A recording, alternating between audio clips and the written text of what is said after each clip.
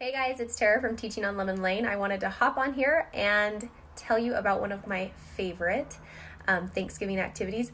I cannot believe that we are approaching mid November. It has gone by so quickly. Um, I'm working on a blog post that goes over my favorite activities for November that you can use in your classroom.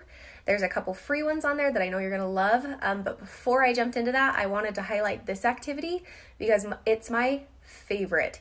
Um, and maybe it's my favorite because so much work and thought and effort went into it. Funny how that happens.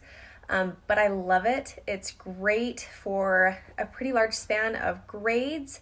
Um, so I wanted to show it to you. I think you're going to love it. Let me know what you think. The Thanksgiving Meal Planner project based learning activity is finally done and um, this activity here is where they list out their guests, they estimate how many servings they're going to need, and then they design an invitation and hit the copy shop. Real recipes means informational text, and if you follow my story, you know that I love informational text and that I think that it should be fun and interesting. There's over 18 different um, recipes they can pick from fun part about real recipes is the students can actually take them home and try them. Um, you'll also notice that all of the fractions and ingredients that I've used are very user friendly and that was on purpose. Um, like many recipes, when it comes to Thanksgiving, most recipes will need to be doubled or even tripled. Um, this sheet will help students do that. They write the original amount, and then they adjust it by two times or by three times. Repeated addition or multiplication works great. After students have listed their ingredients on their shopping list and the quantity based off of what they've come through the recipe cards, they'll head to the grocery store. You can use my printouts or you can use actual grocery ads or even do online shopping. If you do use my grocery ads, there are three different versions. Um, also, notice the coupon.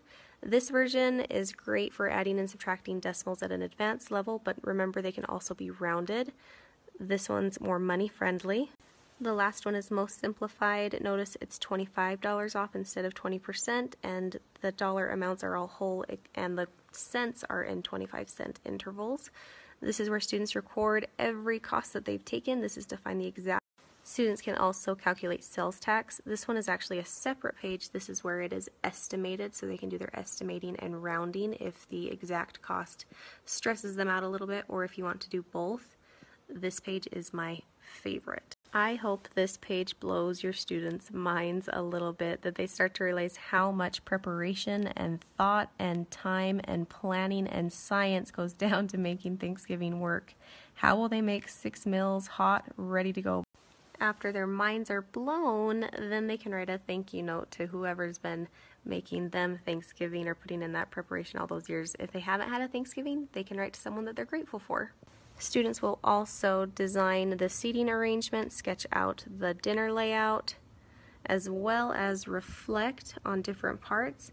They also give themselves a score 1 through 5. This is based on effort and attitude, not proficiency.